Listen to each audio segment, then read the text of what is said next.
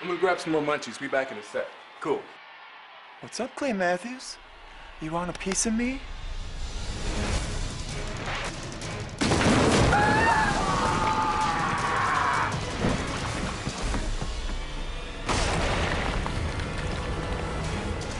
This ain't over, punk!